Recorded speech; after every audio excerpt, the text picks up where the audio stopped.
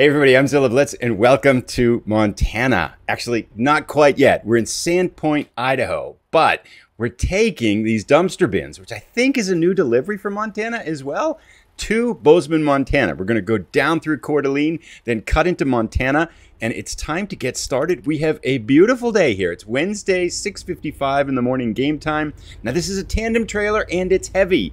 So who knows what kind of adventures we're going to get into. We've got Diesel, our dog, with us as well. Hopefully I can make it out of this parking lot without racking this up. This, as we can see here, is a long load behind us. So always an adventure with tandem trailer trucks. Now this is about, I think, a seven and a half hour journey. We are primed up with a full tank of gas and plenty of sleep. So there should be no escapades with those problems. And uh, we're going to drive for a little while now going to take us down through Coeur d'Alene, Idaho, and then as we get closer to the border of uh, Montana, we'll join back up. So we'll see you in a little bit here as we kind of wander our way through uh, the little part of Idaho before we get into Montana. Very excited for a first look at the state, and we did not take out that sign. Very nice. All right, so here we go. We'll see you in a little while. Alrighty, we've been driving about two hours now. We made our way through Coeur d'Alene. I kind of adjusted the seat here to kind of tweak with the view a little bit too. And uh, straight in front of us should be Montana. Now we got a little bit of a winding road here, but it should be only, I'm gonna guess, maybe just a few minutes of driving in real time uh, to uh, along this highway, which I think this must be one of the new access points into Montana. Looks like there's a lot of them, by the way. Looks like there's a, at least a half dozen different cities and routes you can take to get into Montana which is kind of fun to see. We'll be coming in from the one from Coeur d'Alene, of course, and we should see the sign for Montana coming up here somewhat soon. Got a bit of an uphill climb here. All of these city indicators should be Montana. Yep, Missoula coming up and things like that. Um, this is a heavy load for us too. A lot of garbage in the back here, as we've seen here. If we take another look at it here, this is a long trailer, and it's a pretty heavy one here too. So but a beautiful day to head into Montana. Big climb up here as we go in, so we should see the sign pretty soon. I'm gonna guess maybe a minute or so. Now, I know that, that, that one of the there's five achievements for the state of Montana, and one of them is to take these garbage bins to waste transfer stations. You have to make 10 of those deliveries in addition to making a delivery of a garbage truck, which is pretty cool. That's going to be a fun one to do. So I'm looking forward to that one. But I'm wondering if these Wow, this truck is struggling a little bit here. Lookout pass ahead. Pretty cool. Um, the truck is this definitely low. I can feel I've got it floored and we're going 45 and dropping speed. So this is lookout pass up here. It does not look like it's a viewpoint. So we're going to pass. We're not going to take a look at lookout pass.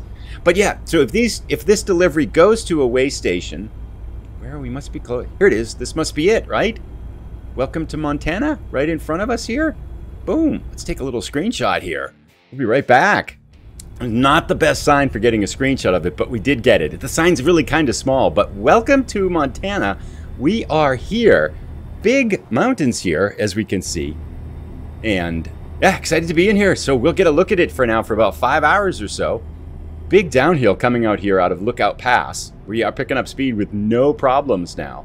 But I hope everybody's excited for Montana. Again, it's been, I was looking uh, on my uh, old videos for the kind of, and it was 11 months ago almost that, please pull in for an inspection, 11 months ago that Wyoming came out. And our first event, too. This should get us qualified for at least one delivery. I'm not quite sure. It says you have to make 12 deliveries. Whoops, we have to go over here. Uh, almost missed that. and almost cut a car off because of that. But you have to make uh, 12 deliver. You have to go to 12 of the 15 cities and you have to either originate from... Wow, it's a heavy load. It's taking us a while to stop here. There we go. Got to plan ahead. There we go. 106,000 pounds. Wow. That's a heavy load for this truck. This might be one of the heaviest we've taken. But, lots of garbage to carry to Montana. Um, but, yeah, you have to make 12 deliveries to... Uh, to or from, originating to or from cities in Montana. I'm guessing that means that you can't like a to and a from doesn't count as one delivery. Probably has to be. You probably only get record for one delivery for one city, but I'm not sure. We'll find out. Well, we're going to get one anyway for this one. We'll have to see the next episode. Plans for the next few weeks, for the next week or so. I'm going to try to make about three or four different episodes from Montana. I have some state trivia questions ready for Montana. Six very interesting questions. I think that will be the next episode will be Montana state trivia. Haven't done a trivia episode for quite a while, so that should be kind of fun too. Now I did notice here as I've adjusted my seat that Diesel's head is kind of in, our way, in the way of our right side mirror, so I probably need to fix that at some point soon, but we'll let that go for now. But yeah, this should be a beautiful state. Excited to cover some new ground here. Let's get a little further in and then we'll reconnect and chat about more things Montana. So we've just gone a little bit. We can see this running stream here off to the right and this is beautiful. Of course, tons of nature and fly fishing and all kinds of stuff like that in Montana.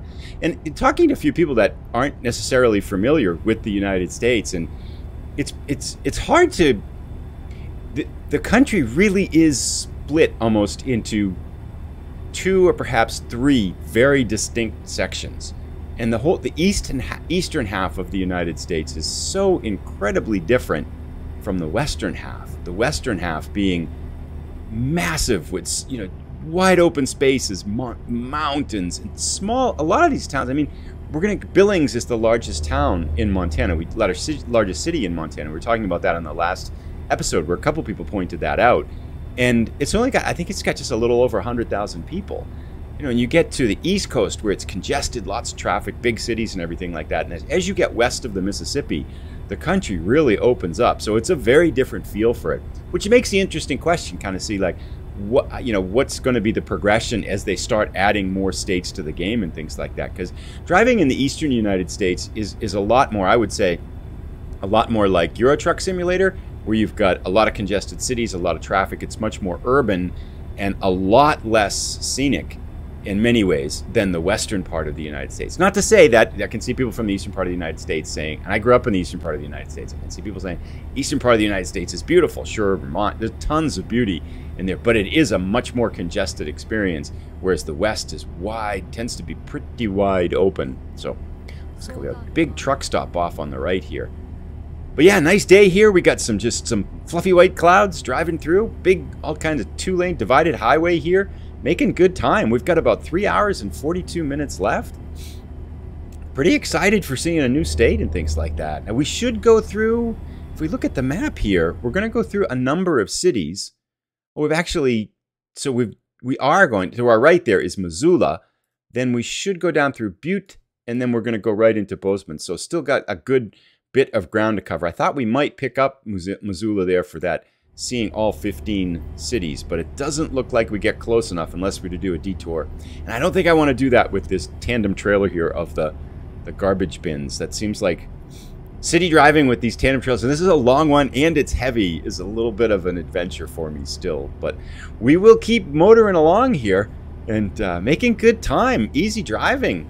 Montana drivers seem really good too. I haven't seen any driver craziness or anything like that, outside of me kind of sliding over into two lanes a couple times here and cutting cars off. But other than that, the drivers have been pretty good here. About three hours left. We've been following this river the whole way. I don't know what river it is, but off on the right-hand side. Again, beautiful country here. Well done. It's just kind of fun to see how this game has been progressing, and especially as they're going back and reworking a lot of the previous states, like the California rework, Again, it's starting to pick up for a while there. You know, of course, with the, the loss of the Heart of Russia DLC for Euro Truck Simulator, things felt a little stagnant for a while. Understandably so, when you can't produce a, you can't publicize a whole DLC that you've made. But over the past few days, it's really started. You can find it re kind of recapture that sense of vibrancy that's I think made the game so good and so durable. Because we also have a new truck for American Truck Simulator 2. I might get it wrong. Was it Western Star 57X or something like that. I was watching a video on it that SCS software put out, and that looks like, speaking of which, that looks like the next truck we're going to try to get. So the, the plan, I think, with our money right now, we have $209,000. We have a base in Eugene, and we have a small base, just a one, one uh, door garage in Roswell, where we started out. With this $209,000, what I want to do is to get to Billings, which is the largest state in Montana, and once we get there, we're going to buy a garage there. Then the next goal will be to save up some money. I think I want to try to get one of those Western Stars and then switch out the Peterbilt for the Western Star and to try to drive that for a while. Not that I haven't liked the Peterbilt. I really do like this truck quite a bit. I, I really like the color that we've got for it too. Um, and the design's been kind of a fun truck to drive. But that'll be the next plan. So get a base in Billings and then hire some trucks and drivers and get that next truck, which I think will be that Western Star 57X. I'm kind of curious to see how that new truck drives or so. Got a mysterious black bus there off to the right hand side. Not quite sure what's going on there. And we are struggling a little bit to keep up our speed here. Heavy loads of garbage. And as I do look in that mirror, still can't quite get Diesel's tongue out of the way of that right side mirror. Have to adjust the seats a little bit more. Anyway, we'll uh, motor along. Two hours left. It's been a lot of straight mountainous, well, not mountainous, but highway driving here with some beautiful scenery on both sides of the road. Again, another one of these western states that just has remarkable natural vistas. We've got Glacier National Park here in Montana. I think there's a route that goes through that. Looking forward to some of the viewpoints. Tons of stuff to see and do. It should be a fun next few episodes. Again, the thinking I'm going to try to do and I think, every other day for the next week. So, four, possibly five episodes coming from Montana in the next few days.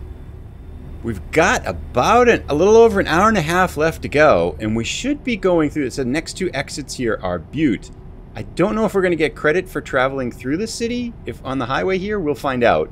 So you can see it on the Navi right down below here. We're almost there. It looks like we're going to get close enough to get it, but maybe they're starting to design these so that you actually have to get off the highway to pick them up. We'll see as we go through it here. Now, I have been to Montana a few times in real life, and it, yeah, it doesn't look like we're going to get it. see, it should happen right about now. Seems like we're passing right through. Yep, there we go. Butte discovered our first of 15 Montana cities, the last best place. One of 15. Boom, making progress.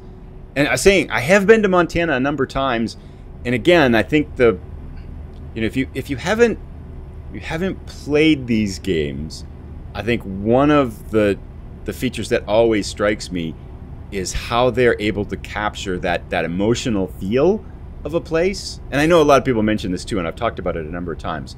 But thinking on the Montana scale, like evaluating Montana, it's got that to me, at least my experience with Montana has been it's very arid. There's a lot of mountains, a lot of nature and stuff like that. But it's it's got this very kind of dry feel to it, as well as still having kind of a, a lot of mountainous, a lot of natural parks and things like that. And this again, they've managed to capture that same kind of emotional feel of actually being in Montana.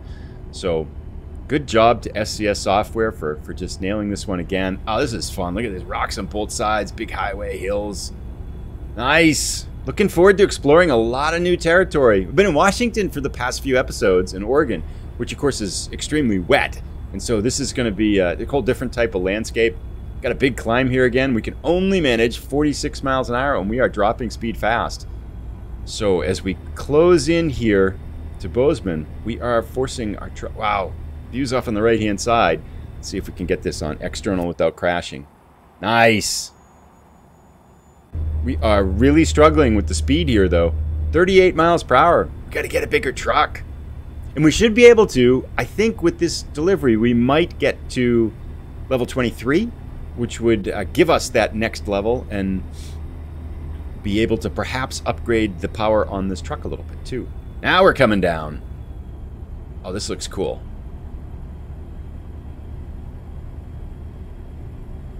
Fun landscape on both sides. We've got less than an hour to go now. Just kind of want to take a look here. Up 45 miles an hour. This seems like... Ah, I gotta slow down. Here we go. Cranking on the brakes here. Fun drive. This section in particular is pretty cool. Mountains in front of us. Wide open spaces here. I think Miami, uh, Wyoming had, uh, I think population density in Wyoming is probably considerably less than Montana. But it is, again, another state that lots of open space here. We can see on both sides. Let's take a look from the outside here. Very nice. I'm going to actually get a screenshot here, I think. This is probably a good one capture that sense of the Montana landscape. So one of the things that everybody talks about, there's about 25 minutes left or so in our delivery here. One of the things that everybody talks about when they go to Montana, it's called like, a, uh, it's referenced big sky country and stuff like that. And the sky actually is amazingly open when you go there. It's like you you you travel through Montana and it's like, oh my god, how can the sky be so big? And it never feels so big to me in other places of the world I've been to. And again, I think this is a pretty good sense for that. It just for whatever reason, if we could look up a little bit more, you get this massive sense of just open sky around you. It must be just the way the landscape sits and rolls, that kind of high plains type of thing. But again, I've done a pretty good job here, I think, of capturing that sense. I took a screenshot. I'll put it right here, which as I was kind of playing around with the screenshot, I was like, oh, yep, there it is, big sky. So anyway, we are exiting here now. Bozeman off to our right. We should get credit for this city as well. So I'm going to guess it's going to give us 2 of 15. I'm sure it's, I think as soon as we make the delivery, maybe we won't get it the city's off to our right there. Hey, Diesel. Should get it pretty soon. Darth Vader's still with us, too. I offered to let him out, but he, he kind of wants to see Montana, too. So Darth is kind of traveling around with us for a while. We'll probably keep him for a little bit here and then drop him off somewhere. He's been pleasant. You know, he hasn't made any snide comments or anything like that. So, and he doesn't eat much or drink much. Doesn't really, he just kind of sits there. But we're happy to have him along. All right, hopefully we don't snag anything on that corner. Good.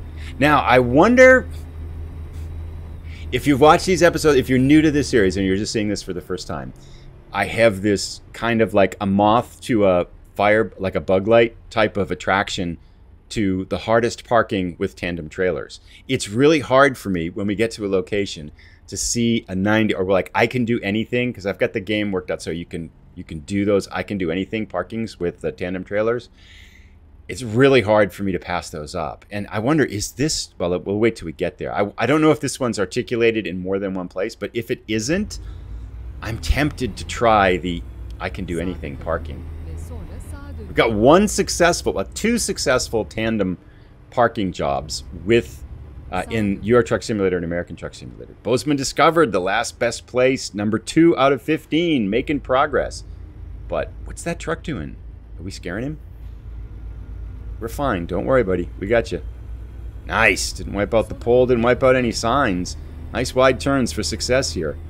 So, anyway, we've made two successful parking. One only was a backing up parking. Only once, again, so I've been able to back up. The other tandem parking, the I can do anything, was actually you had to pull it in straight ahead. Waste management. Oh, nice. Okay, here we go. Stop there. See what we get. I can do anything. Oh boy, can I? Let's take a look at the trailer. Is it articulated or is it just it looks like it's not, right? So it's got the connection here to the to the the first trailer has a connection to the the cab and then the second trailer I don't know how that turns. That might be that might be articulated in, in the back there too. But okay, okay, hang on, hang on. What did it say? Oops, gotta get back in here. One sec you know, that doesn't look that bad. I can do anything. It's just pulling it off to the left there, right? The tricky part is how are we going to get it to line up straight? So we might have to go past it. I feel like, yeah, we're going to try for it. Let's see what it looks like here. Now, I also, if this is the first time you've been watching this, I do have a rule, and this is probably actually one of those waste management facilities because Waste Management is the company, the actual company that picks up our garbage in the United States here too. So this is a real company. It's one of the real company mods one. Okay, so we got to go where? Oh, of course those bins are in the way, right? So it's on the other side of those little bins that are lined up there. Okay, this is going to be pretty hard then. So we got to go around this pole. Is it over there? Oh, it's inside that area. I'm not sure we can do anything. But we'll give it a try. Let's get lined up here. But anyway, yeah, I think this is going to be one of the facilities that allows you to. Is it right in there? Oh, it's down that. Okay, okay. We're not giving up yet. Looks like it's down that ramp on the other side of that red trailer there. So if we gonna do this, we have to get back over here. Oh, there it is. Oh yeah, right. I don't think we're gonna be able to get this. How on earth do we do that? We'll give it a try. That's not gonna work, is it? All right, I think we have to readjust here. I'm going to, try to back up a little bit here and see if... Because that's going to go the wrong way. I know it is. to push it the other way. So we're going to to see if we can readjust here. Because I know the rear one's now going the wrong way. Which is not going to work. But I think if we go back here, then I can pull forward and perhaps straighten it out. So we'll keep working on it. We'll be back in a sec. All right, now I think I can spin the rear one in. So if I can get the first trailer straight in line with the cab, I think I can push the second one back towards the parking spot there. This could take a while. See what happens. Yeah, so so the problem, it, it is articulated, it's double articulated in the back here. We can see at that back trailer right there, it's got two turning joints. It's hard to see on the camera here. If we look at it through our through the truck out the window here, I don't think I can do this because it's it's so it's got three turning joints here, and that's going to be tricky. So I think what I'm going to try to do is to make a U-turn, get over close to the parking spot, and then we should be able to turn this in without parking. So yeah, tandem tandem parking fail, but I don't think I'm good enough to do that yet. I don't think I'll ever be good enough to do that. Matter of fact, I think I'm probably just going to get this all screwed up.